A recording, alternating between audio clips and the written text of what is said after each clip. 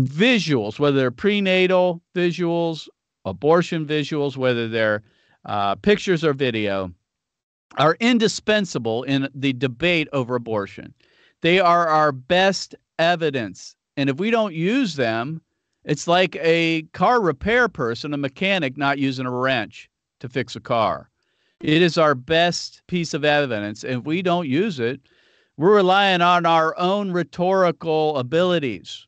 And I can tell you this I'm a good debater on abortion, but I'm not good enough to overcome or compensate for what a picture can communicate at a glance.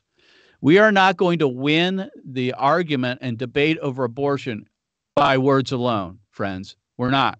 We can't. We've got to show what abortion is, the unvarnished truth of abortion.